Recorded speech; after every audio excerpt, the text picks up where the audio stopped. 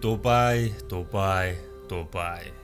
Хүн бүрийн мөрөөдөл болсон тэнгэр багансан өндөр барилгууд, моторын дуу хөнгөлсөн супер машинууд, гялгар брэндээр хувцсан баян тансаг амжилттай хүмүүс. Тийм ээ, Дубай бол хүн бүрийн мөрөөдлийн хот билээ.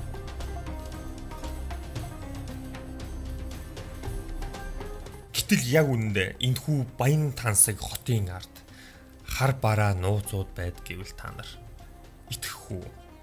Хамтдаа сонирхцгоё.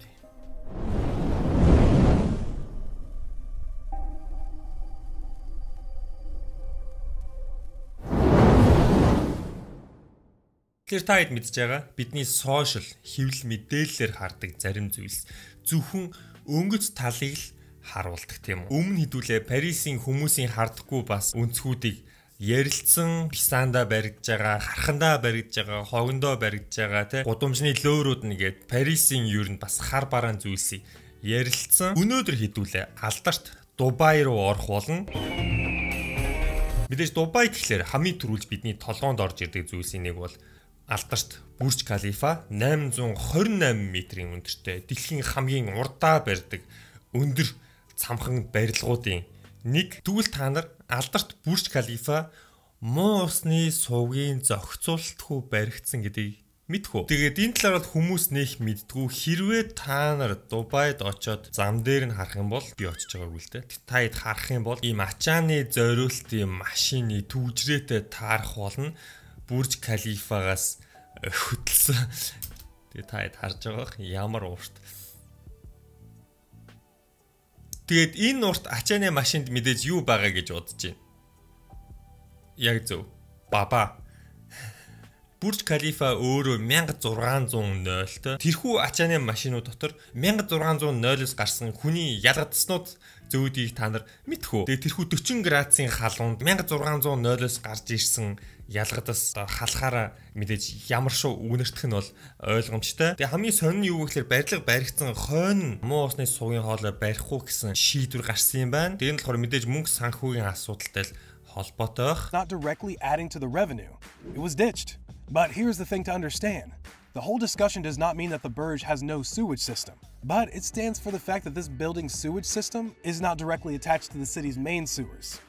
Reason being that the city's sewers and sewage Тэгээ Бурж Калифагийн муу усны сувг нь Дубайн гол муу усны тэр юутайгаа нэгдээгүй шугамтайгаа нэгдээгүй юм байна. sewage facilities lacked capacity and cannot hold it for a building that would be such a huge source of influx. The focus at the time was just to get done with the project. Тэгээ Дубайхаа гол муу усны сувгтайгаа одоо тэр Бурж Калифагийн муу усны сувгийг нэгтгэхийн тулд аюу их зардал орох байсан учраас ингэж шийтсэн юм шиг байна. Гэхдээ бодхоор л сонь тийм мөнгө санхүүгийн асуудал. Тэгээ мөнгө санхүүгийн асуудал гэж бодохоор бас сонь тийм үү. За дараагийн бидний ярилцах хар бараа мэдээ бол бас нэлээд хар бараа мэдээ. Тэгээд миний мэдхийн Францд нодлон жил нэлээд шуугуулсан мэдээ. Тэр болохоор юу вэ гэхээр Францаас Дубай руу аягүй их инфлюенсерүүд нэг хэсэг ковидоос хойш аюу их явдаг болсон. Тэгээ энэ ямар хил амыг дагуулсан бэ гэхээр одоо Дубайд аюу их олон газрын тосны арабын шейхүүд байгаа шүү дээ. Одоо мөнгөтэй хүмүүс те. Тэрхүү хүмүүс олон сая байгаа шүү дээ. Эмхтэй инфлюенсер одоо модельуудыг авчирч биеийг үнэлүүлдэг. Тэгээ түүнээс гад нэг итгэмээргүй зүйл нь юу вэ гэхээр би одоо энэ талаар ярих нь зөв буруу. За зүв баха сургамж болох хэрэгтэй. Дубай Порта Поти гэдэг зүйл бол бүр нэлээд олныг шуугуулсан. Тэгээ энэ болохоор энгийн үгээр юу вэ гэхээр мөнгөтэй арабын шайхууд олон дагагчтай инфлюенсер модельүүд гэх юм уу те инфлюенсер эмгтээчүүдийг авчираад суултуурынхаа оронд хэрэгэлдэг гэсэн. Өөрөөр хэлбэл амруун өтгөнөө гаргадаг гэсэн. Өнөөдөр чинь ямар их өтгөн ярьж байна хэдүүлээ. Тэгэд энэ бүхэн ерөөдөө яаж явагддаг вэ гэхээр одоо тэрхүү олон дагагчтай инфлюенсер модель одоо эмгтээч одоо дийлхэн эмгтээчүүд байгаа. Эмгтээчүүдийг Дубайд ураад одоо тэр хүн мөнгөтэй хүмүүс ураад нислэгийн чин даяа, буудлын чин даяа, ер нь ингээ бүхмийн чин даяа, ирээ зүгээр таад ингээ гоё ингээ хамт ингээ шоудоод ингээ байжээ. гэж ураад тэгээд ирсэн хойно тийм хүү гаж гаж юмнуудыг санал болгодог байгаа. Тэгээд бидний харж байгаа энэ хүү модулээс хуулаад ер нь ингээ хүмүүс очисон хойно гайхаад ингээд бөөнөрөө ерөөхдөө шүүгэл үлээ. Бөөнөрөө ч юу яах вэ? Зарим нэг татгалцсан хүмүүс нь л шүүгэл үлээсэн байгаа. Тэгээ мэдээж их хэмжээний мөнгө санал болгон сая охин хэлэхдээ бол Нисгээс өмнө 25 мянган доллар тэгээ дараа нь нийт бүх юм хийсэн дараа 50 мянган доллар санал болгоно. гэсэн байгаа. Тэгээ зөвхөн өтгөнөө гаргахаас гадна шин, бөөлж ер нь нэг явцтай зүйл биш заяа. Тэгээ үүнээс гадна бүр итгэмээргүй зүйл нь юу гэхээр амтантай харьцаанд оруулж мөнгө өгдөг гэсэн байгаа. Тэгээ зарим дээр нь 30 сая доллар, зарим дээр нь 50 сая доллар гэсэн байна. Тэгээд ингэж бодохоор мөнгөний төлөө юу ч бүр юу ч хийхээс буцахгүй хүмүүс байна. Тэгээ тэр хүмүүсийг бас ингэж ашиглаж гин гэдэг бол маш өрөвдөлтэй. Тэгээ бидний яардаг иймэрхүү тансыг зүгээр ингээл Дубай тэгэл ингээл амар тансаг тансаг буудал ахуулаад тэгээ усан онгоцон дээр ахуулаад явж байгаа хойд эмэгтэйчүүд дотор энэ хүм одоо хар бараан зүйлстэй холилдсон хүмүүс байдаг гэж бодохоор бас өрөвдөлтэй. $250,000 USD. You know, okay, if you don't know what that is, means on somebody and it's disgusting. These girls are allowing these men, these whatever, to literally on them and piss on them and humiliate them them all for what? Some money? You are a desperate guy looking for money and uh, you are getting a guy who want to give you like ten thousand dollar. ten thousand dollars some people have never seen ten thousand dollars in their life man. You just need to look pretty and get ten thousand dollars and be on that flight and go be told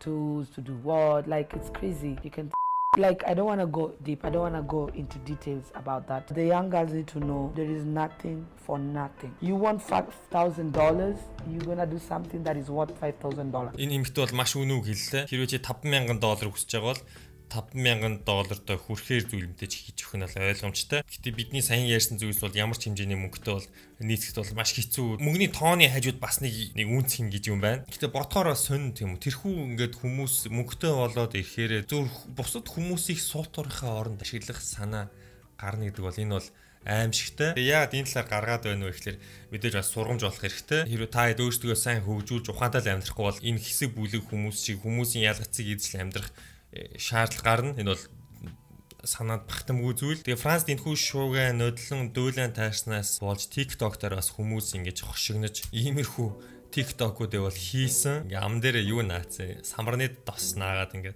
чиний дуртай инфлюенсер чинь Дубайд мөрөөдлийн амьдралаараа гэх.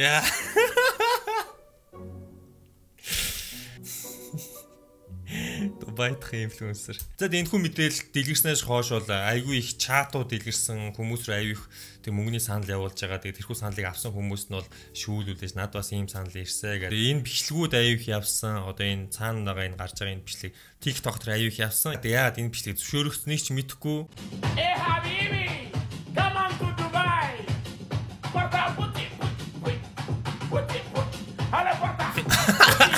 come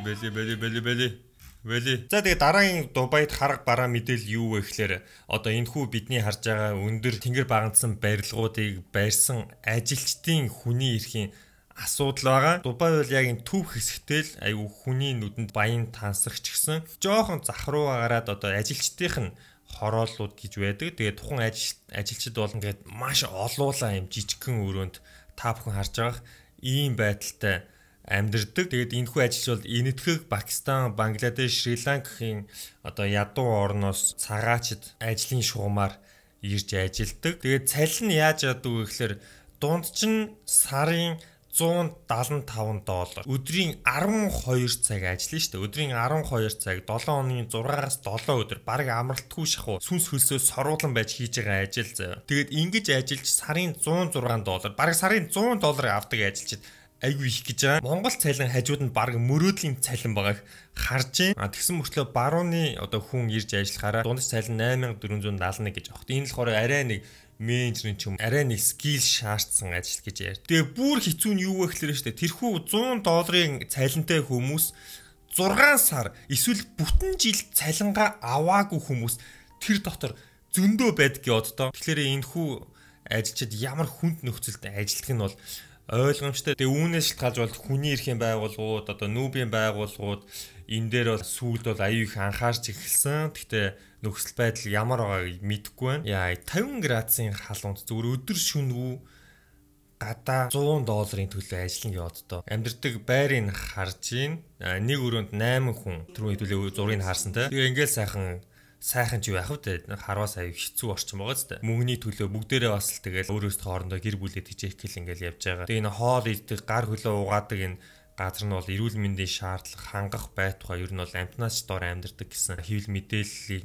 одоо дүгнэлтүүд аюу их байгаа. Тэгээд ажлын нөхцөл бол амь насанд аюу их халтай одоо хамгаалалт аюу муутай. Тэгээд иймэрхүү амь насанд халтай ажлуудыг бол дандаа энэ цагаачийн одоо энэ хямдхан ажиллаулж байгаа хүмүүсээр ажиллаулдаг гэж байгаа. Тэгээ энэ хүмүүсийг энтгэгээс үл Бангладешээс авчрахтаа Дубайд ажиллуулна. Дубайд одоо ажлын байр гэж хэлээд виза юуг нь одоо ингээ бүртгүүлэх 2000 долларын хурааж бүр тэндээс нь авч ирдэг гэж байгаа. Тэгээ энэ хүмүүс чинь бүх юмаа шахвалах хөрхий за за Дубай руу явж ажиллана. Яа тэнд оцсон хойно гоё гисэн гэл. Тэгэл бөөнөрөө байгаа мөнгө цуглуулаад 2000 доллар өгөөл ирж байгаа тэгэл ажиллана.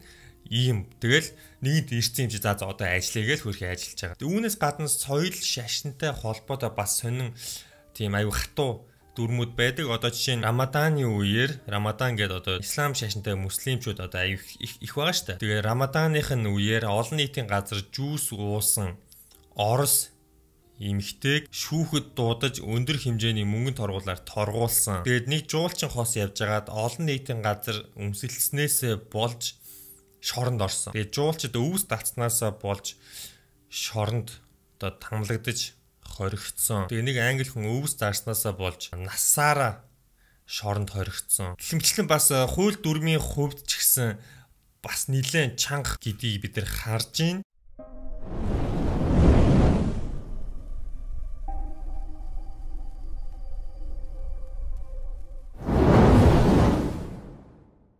За тэгээд та бүхэн харж байгаа хүмүүсийн нөх яриад байдаггүй Дубай гэж сайхан одоо мэдээж сайхан хот гэхдээ энэ хүү сайхан хотын хар бараан зүйлсийг нь бол хүмүүс нэг ярьдаггүй. Тэг хэдүүлээ энэ удаа имжлэгээр хар бараан зүйлсийг ярилцлаа. Хүн болгон эртээ бүртгүүлээд лайк сайн дараарай. Тэгээд дараа имжлэгээр уулзлаа түр баяртай guys